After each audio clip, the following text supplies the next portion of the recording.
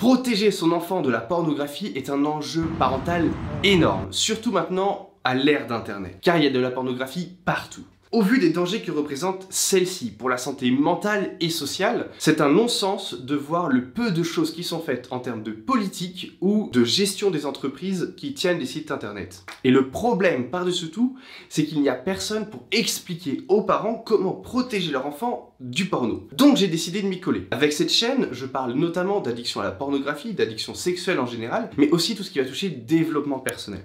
D'où l'intérêt de s'abonner. Et surtout parce que je suis le seul à aborder autant ces sujets avec autant de profondeur. Donc dans cette vidéo, nous allons voir les trois piliers de la protection de l'enfant. La première qui est la protection numérique, ensuite la prévention et la formation, et pour finir, nous allons voir la réaction du parent face à la consommation pornographique de l'adolescent ou de l'enfant. La protection numérique va toucher tout ce qui va être protection au sein du foyer et des appareils numériques que peuvent avoir les adolescents et les enfants en dehors du foyer. Tout ce qui va être tablette, téléphone, ordinateur, ce sont des dangers réels par rapport à la pornographie si rien n'est fait. La première étape est donc d'installer un contrôle parental. Le plus solide possible et il en existe plusieurs sur le marché. Je vais en mettre quelques-uns en description qui sont payants et d'autres qui sont gratuits à voir en fonction de tout ce qui est De base, les FAI sont plutôt à même de présenter des outils pour protéger les enfants de la consommation de pornographie, donc n'hésitez pas à les contacter. Autrement, un contrôle parental, ça se contourne. Donc, il y a des choses importantes à faire. Toucher au téléphone portable de l'adolescent au-delà du contrôle parental, ça va être vu comme une ingérence beaucoup trop importante des parents vis-à-vis -vis de l'adolescent. Donc, le contrôle parental, c'est une première étape et c'est déjà pas mal. La limitation du temps d'Internet est une bonne chose et peut être une bonne solution ou autrement utiliser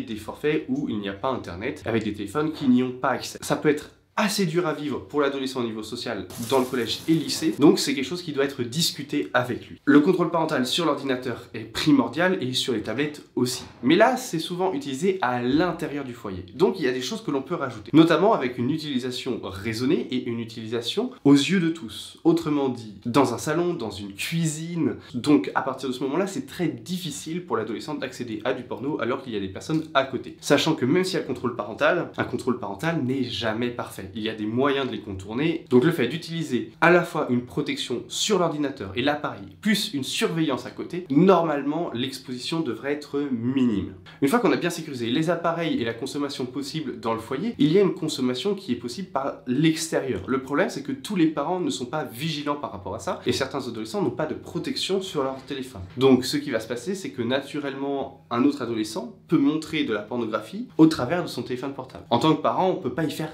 grand-chose. C'est pour ça que la prévention et l'information sont très importantes. Il faut donc expliquer à l'adolescent, tout comme on lui explique pour la cigarette, pour l'alcool, pour les drogues, qu'il y a des dangers à cette consommation. Et ces dangers, il faut en avoir soi-même conscience. Il faut lui expliquer de façon rationnelle et ne pas l'infantiliser. Ce serait la pire des choses. Mais globalement, reproduire le schéma que l'on a vis-à-vis de la cigarette, que l'on a vis-à-vis des drogues ou vis-à-vis -vis de l'alcool, en disant, ok, de toute façon, tu vas être exposé à ça, mais voilà les dangers auxquels tu t'exposes et je pense que tu n'as pas envie de t'y exposer, moi je vais faire tout mon possible pour t'en protéger, mais fais attention, parce que de toute façon je ne serai pas toujours là. Voilà un exemple.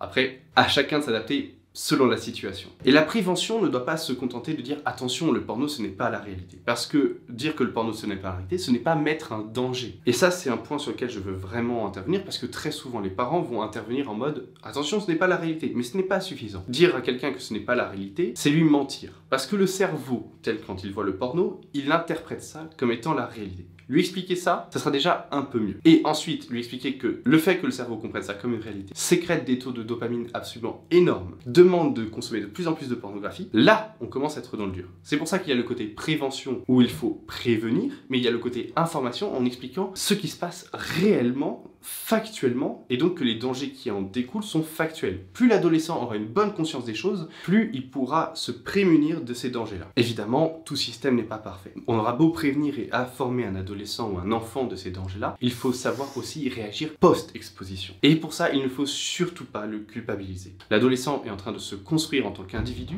et se détache peu à peu de l'influence parentale. Les arguments moraux n'auront pas de prise puisque la notion de bien et de mal commence à lui échapper vis-à-vis -vis de l'injonction parentale. Par contre, au niveau social, il commence de plus en plus à comprendre ce genre de choses. Lui expliquer que le porno, c'est mauvais pour lui, c'est déjà bien, mais le culpabiliser ne fonctionnera pas. Autrement dit, le meilleur moyen, c'est de lui expliquer attention, il va y avoir des dangers pour ta sexualité, tu es en train de la construire et tu n'as pas envie spécialement de ce genre de choses. Il faut donc lui dire ok, je comprends que tu es consommé, pas une bonne chose pour toi. Tu n'as pas envie de ça parce que il y a ces dangers-là. Problème d'érection, problème d'éjaculation, etc., etc. Plus les troubles psychiques. Tu vas avoir des problèmes après pour trouver une copine parce que évidemment, si tu passes tout ton temps devant du porno, tu vas pas chercher une copine. Bref, il faut agir dans son propre cadre. Un adolescent commence à voir être en phase ingrate, commence à rechercher potentiellement des premiers partenaires. Je sais que c'est pas très agréable à entendre en tant que parent, mais c'est le cas. On cherche tous à ce qu'ils s'élèvent, les enfants et les adolescents, et qu'ils grandissent. Et donc ça va arriver. Il faut comprendre ça, et donc lui, comme il est dans cette recherche-là, le fait qu'il consomme de la pornographie va nuire à sa propre recherche. Ça devrait déjà plus le motiver. En fait, il s'agit de se mettre à son propre niveau, à ne pas le superviser en tant qu'adulte au-dessus de lui, mais de lui expliquer en tant qu'aîné, en tant que personne plus expérimentée. Et si ça n'arrive pas, parce que certains adolescents sont plus difficiles que d'autres, on le sait tous, il s'agirait donc de lui envoyer par exemple certaines de mes vidéos dans lesquelles je vais traiter de ces sujets-là. Ça va fonctionner beaucoup mieux, ou autrement demander carrément à ce que j'entre en contact. J'ai mes mails pour ça s'il y a besoin d'aide, ou autrement mes DM Insta sont complètement ouverts pour aider les parents en déperdition face à la consommation de pornographie de leurs adolescents. La réaction ne doit pas se faire dans la violence, elle doit être dans la douceur, parce que sinon ça va pousser l'adolescent à chercher le fruit de l'interdit. Et la pornographie, très souvent, c'est une première porte vers l'interdit, une première limite des lois, de la légalité et une première transgression vis-à-vis de l'ordre parental. Donc lui dire qu'il a agi contre ce sens-là, c'est le conforter dans le sens de cette transgression et donc le pousser à encore plus transgresser. Je sais que c'est difficile, j'en ai bien conscience. N'hésitez pas à faire part de vos conseils directement dans les commentaires, c'est fait pour ça, pour échanger, se donner des conseils et s'entraider. Sur ce, je vous retrouve dans une prochaine vidéo. Allez, ciao